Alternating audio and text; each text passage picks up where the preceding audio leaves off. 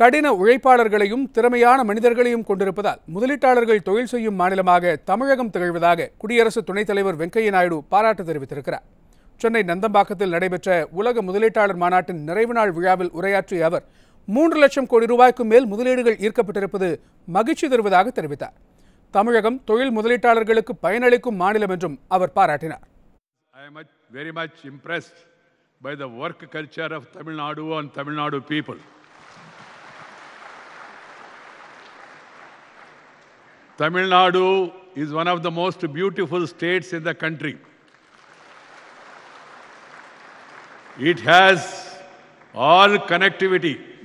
You have air connectivity anywhere to anywhere. You have rail connectivity anywhere to anywhere. You have road connectivity anywhere to anywhere. You have port connectivity anywhere to anywhere.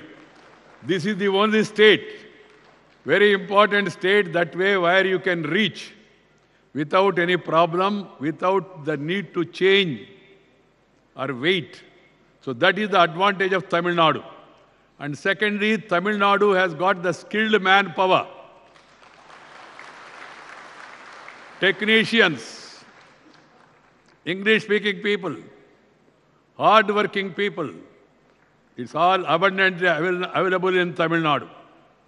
Then you also have now technology, IT, that makes Tamil Nadu's really beauty and beauty and duty coming together becomes mighty. That's why Tamil Nadu is very attractive. I am very happy that the Honorable Chief Minister has told me that more than 3 lakh crore investments have been promised in this global investors meet. And I compliment all the investors who have come here. You invest and you get harvest also. There is no problem on that. Provided you follow the rules. You follow the rules of the game. This is a very good state.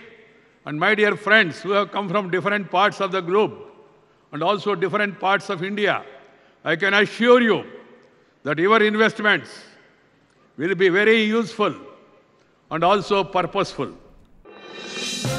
இது போன்ற முக்கிய வீடியோக்களை உடனுக்குடன் தெரிந்து கொள்ள news J YouTube சேனலை subscribe செய்யுங்கள்